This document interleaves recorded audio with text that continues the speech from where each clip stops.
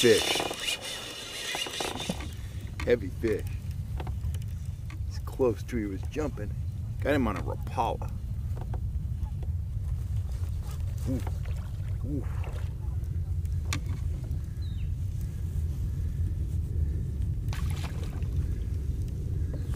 Here we go.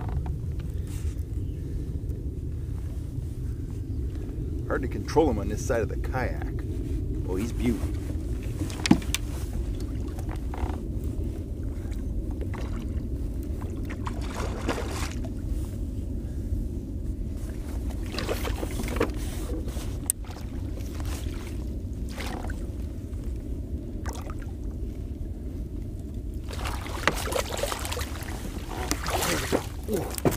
Nice big fish. Woo! Gotta clear this other line. I'm gonna have a problem. So there's the lure, nothing special, just your standard small silver and black, you know, shad pattern Rapala. A floater, not a sinker. And uh, I was trolling right at 2.4 miles an hour with that Rapala about four to five feet deep max, I would say. So here's a look at that rainbow. That's another impressive fish here from Collins Lake. Big planter rainbow, that's what you come here for. Howdy folks, Cal Kellogg here. Now that fish you saw me catch in the beginning of this video, well he grabbed that lure right there. That is a floating Rapala. It's about, I'm not sure what size it is, but it's about an inch and three quarters long. Um, now that's not the biggest rainbow trout I ever caught, and certainly it's not huge by Collins Lake standards, but uh, I think we can all agree it's a very nice fish. It was upwards of three pounds, maybe a little over, maybe a little under, but a very solid rainbow. So the question is, I get this question a lot, you know, if you are looking for big trout, should you be pulling a big lure? If you were out looking for, you know, really big trout, should you be pulling, you know, big Rapalas like this or, or even larger? And uh, I kind of have a unique perspective on this. I think a lot of the time, whether we're talking about trout fishing, stripers, lingcod, whatever, I think the rule is very true. Big bait equals big fish. But we got to really look at our trout fishing from a broader perspective. Now, there are specialists out there that they love to go out and pull these big baits and they catch big fish, but they also have a lot of patience. They don't catch nearly as many fish as I do or most people do because they're just looking for the big boys. Now you can catch some smaller trout on these lures, but you're not gonna catch nearly as many small to medium sized trout on a Rapala like this as you are on a Rapala like this, okay?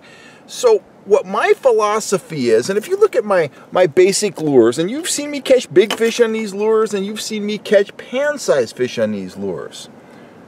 Hold up one of my trolling flies here.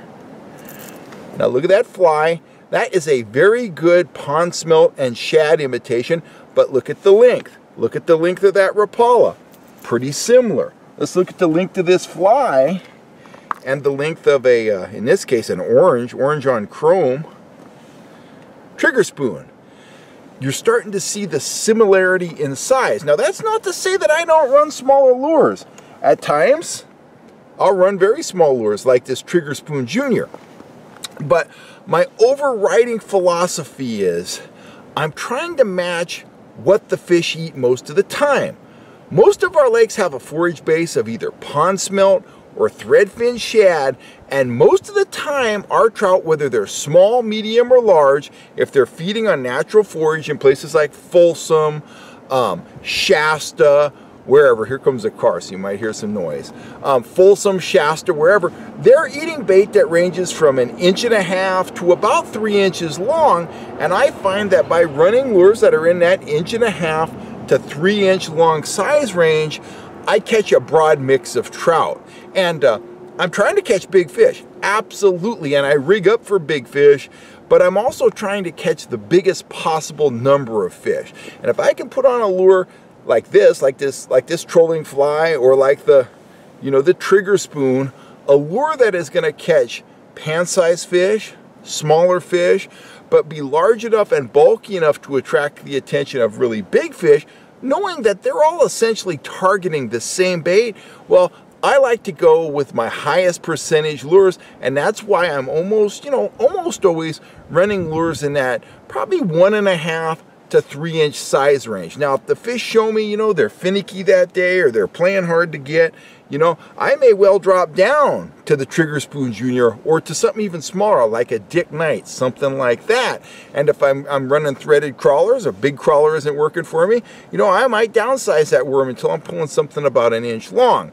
But just, you know, overall, broad perspective, I think if you want to maximize the number of trout you're catching, and, you know, as well as catching some big trout throughout the season, you want to stick to those baits that are in that one and a half to three inch size range. I think those are going to serve you well. Now, there are certain times, there are certain circumstances. I, I lost my big Rapala, it's hanging right here.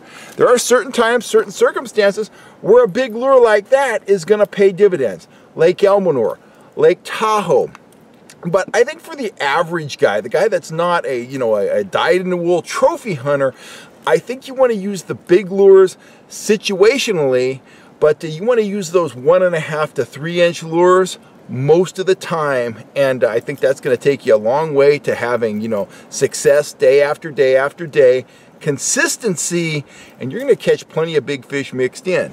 After all I caught my seven pound rainbow my biggest you know wild rainbow to date on a fly very similar to that right there. I, I was running one that had a little bit of dark on the back, but in terms of size, that lure was that big and I hooked that big old seven pound rainbow on it. So anyway, that's kind of my philosophy. That's how I think about lure size. Do I believe that the big baits equal big fish?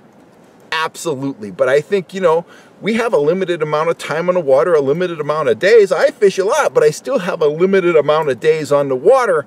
And uh, I love to feel that tug, so I want to catch a maximum number of fish while not crossing the possibility of big fish, you know, off the menu. So that's just kind of my philosophy on lure size. Yours may vary. Um, let me know what you think down in the comments below. If you're looking for trout tackle, you know where to go. Um, the Fish Hunt Shoot Productions website. Check out my store. Rods, reels, lures, spoons, all the stuff you see me using here on the channel at very fair prices. Stuff that I stand behind.